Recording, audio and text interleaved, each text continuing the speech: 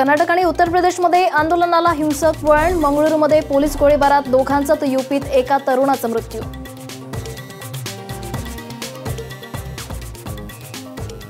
CA एनसीआरच्या विरोधातील वाढत्या आंदोलनावर कठोर कारवाई करा केंद्राची राज्य सरकारला सूचना.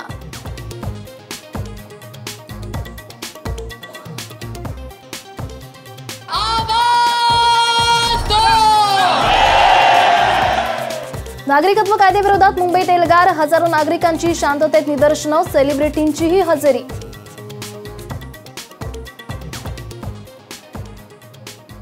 मालेगावातील मुस्लिम बांधवांचा विराट मोर्चा तर नागपुरातील मुस्लिम समाजाची निदर्शनं सीए कायद्याला सनदशीर मार्गानं विरोध.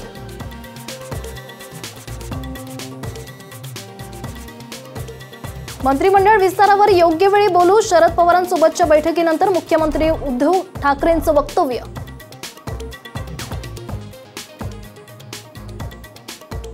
उत्तर भारतात थंडीचा कहर येत्या अठ्ठेचाळीस तासात. राज्यात पावसाची शक्यता कोकणसह मध्य महाराष्ट्रात तुरळक पावसाचा अंदाज.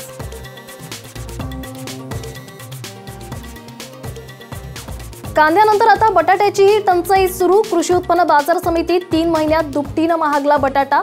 कांदा टंचाईनंतर बटाटे दरवाढीसह सावट.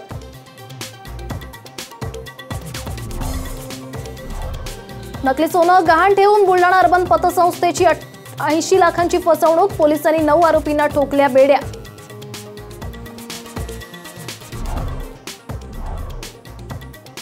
आणि पश्चिम रेल्वेवर अर्धवातानुकूलित लोकलच्या चाचणीला मंजुरी पुढील आठवड्यापासून चाचणीला सुरुवात होण्याची शक्यता.